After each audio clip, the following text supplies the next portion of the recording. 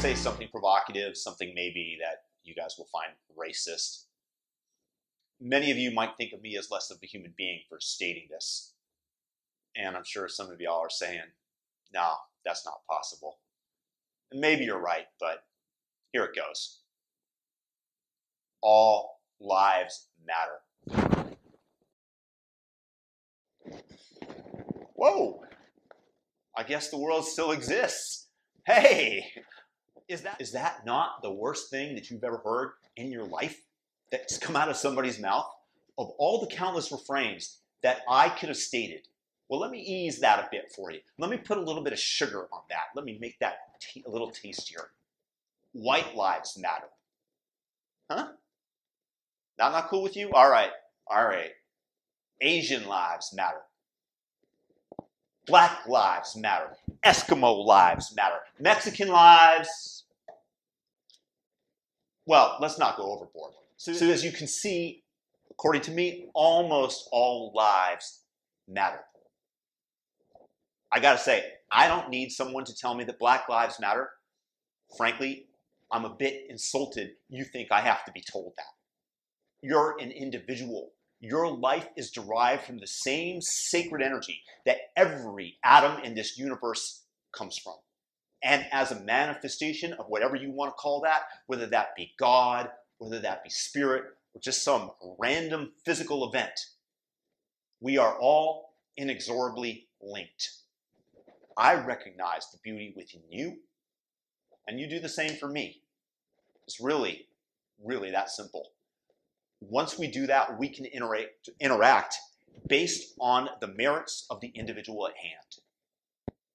I don't care about the color of your skin. But when the National Museum of the African American History and Culture declares that rugged individualism is whiteness, I scratch my head.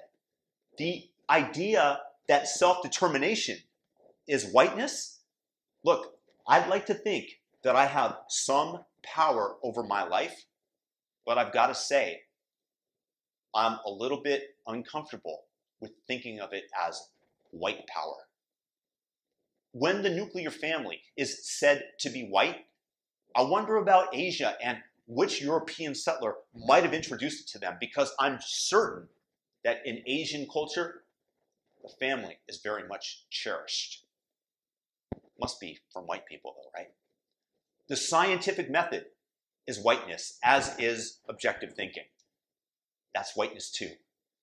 I suppose, though, if you're the minority who managed to come up with this, for you, it's got to be true.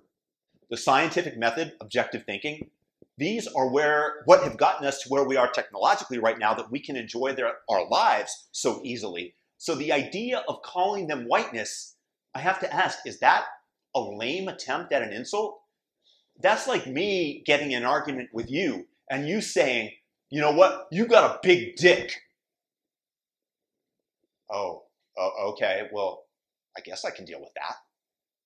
Delayed gratification. Well, that's whiteness too. I suppose that's why I could go to the inner city and find so many more gold chains and Glocks around than I would school books. Got an idea, just a hypothesis. Maybe my relative financial success is not based on my hard work and sacrificing the present moment and enjoyment of it, where I would have to spend money for anything, because I scrimped and saved every penny I earned while living in a shoebox, it's not because of these reasons, but because I was competing financially against people who are honorable enough not to commit cultural appropriation, like saving delayed gratification even if it would help better their lives. I honor you.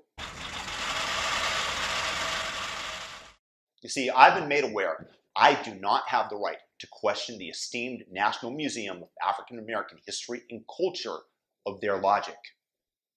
See, I recognize that those people, if I can say that, the darker skin, that they're a protected class. Let's just put it like that. I recognize that, and that I, as a white person, cannot question your views because of the increased melanin in your skin, which makes you superior to anyone. except for the part where logic is probably whiteness as well, which might give me, and I underline might, I'm not usurping this privilege, it might give me the right to question it. I don't know. I will contact my superiors and verify this. Being on time is also whiteness. But, you know, that's not completely true. See, I have German friends that are beyond punctual. They've never been late in all the time that I've known them. Maybe we should just redeclare the Aryan race to be supreme in this case, because they are the height of this chart, which you're already putting us on top. But didn't someone already do that like in the 1930s and 40s? I'm not, not 100% sure this is the case. Maybe I'm just speaking out loud. I'm definitely no student of history. The list here goes on, and it includes things like being oriented towards action, the desire to be the best, all these things that people generally find pretty good. So I guess my question is the National Museum of African American History and Culture, which, by the way, is taxpayer funded, meaning that your money and my money went into the time, the materials, and the resources needed to produce this chart. In addition to the fact that they probably had to pay some white nationalist like David Duke a very hefty sum to pen this for them, to galvanize these ideas into their minds. Can we not object to that because that money went to a white man? because you guys are not only making me race conscious for really the first time in my life, but giving me all sorts of reasons to be proud of my race. You want to divide America more by putting the whites on top. You are driving people actively, it seems, to the KKK. I have to say, I owe you an apology. I originally thought this whole intersectionalist woke agenda was about demeaning and shaming people for being white. And suddenly you're heaping praise upon whitey. I just find it a bit confusing. I can't say that I mind it per se. You know, you're, calling, you're saying we have big dicks. It's just the inconsistency that I find confusing. Anyways, thanks for all the credit for the work of Asians and Mayans who kept calendars on their own. I guess as somebody who you are declaring to be white and making me well aware of it, can I just say I appreciate it. I know y'all seem to be making a strong case for white lives matter, but I don't believe being white entitles us solely to these awesome strategies of dealing with the world. I think y'all are entitled to them as well.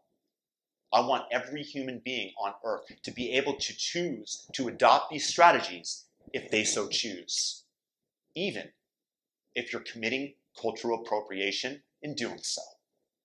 You have my permission. After all, your life matters. All lives matter. Peace and blessings to everybody out there. Subscribe to this channel. Like this video, share it with somebody. Thumb that video up. Culturally appropriate this channel